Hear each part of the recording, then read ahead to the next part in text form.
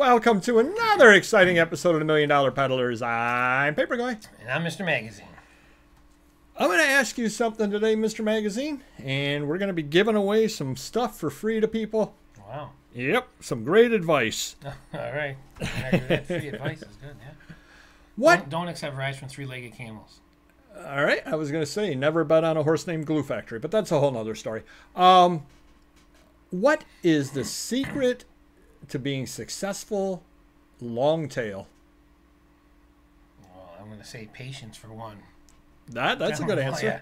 That's a good Patience answer. and long, they, they're like, you know, they go right together. But um, being determined, having goals, you know, um, working hard, all of, all of that uh, is a, you know, a recipe for success down the road. To anybody who's newer to the channel or newer to reselling, long tail basically means you pick up items that the sell through rate is less than stellar. I think that would be a good way to put it. Yes. Um, and if you watch our uh, Bolo videos every Saturday, um, uh, from time to time, I'll bring up an item that I've had up since 2012, occasionally 2008, sometimes 2015, and so on. And these are things that have been sitting there, you know, seven years, eight years, 10 years, 12 years, sometimes in some cases. I mean, at times 15 years, something that's been sitting there. That would be the definition of a long tail item. It took a long time to find the proper uh, house, uh, proper person to buy it and bring it to their house. Um, it's completely different because you tie up your money for quite a while. Sure. However, you can be rather successful at it, but the key is you got to buy low. Uh, because if if I'm going to be selling something in 2035, so 12 years from now, for $25, I can't pay $15 for it now. I got to pay 50 cents for it now, or a quarter for yep, it now. You just absolutely have to, um, in just because of the time You frame. go broke the way we buy too. You go broke buying big collections at a higher percentage. Forget about it. Um, yeah, oh, absolutely. You you absolutely would. But the real secret to it is you need to get you need to buy a lot of stuff, pay very low on the stuff, and get the stuff listed quickly. And some of the stuff listed quickly anyway. I mean, obviously, if I'm picking up a thousand items for a hundred dollars, I got a dime a, pe- a uh, dime a piece into them. I don't have to get all thousand listed. Right.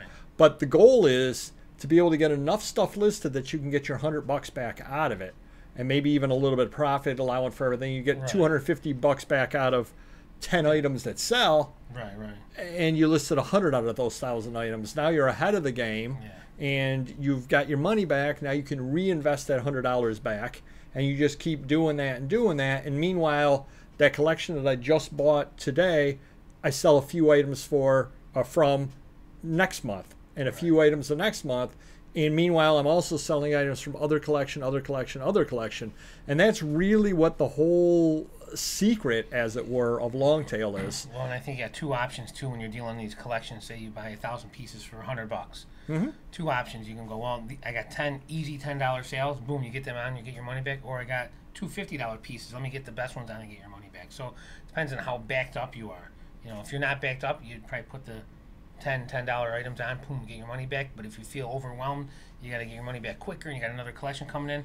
You know, sometimes we, you know, I'm different than you. I might put those two fifty dollar ones on. At least I got my money. I'm out of it in a week. These other ones will get on eventually, you know, but then they build up. Or like you do a lot of times, you'll put the the ten or twenty cheaper items on that are going to sell quicker. So you got two options mainly. The way I look at it.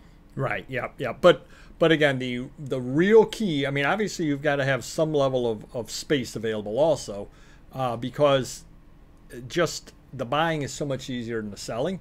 And if you're picking up a thousand items for a hundred dollars and you're doing that every few months, and you're only selling 20, 30, 40 items out of that uh, in a fair in a fairly quick amount of time, it starts building up, backing up, building up, backing up, and you need a lot of space in order to store things.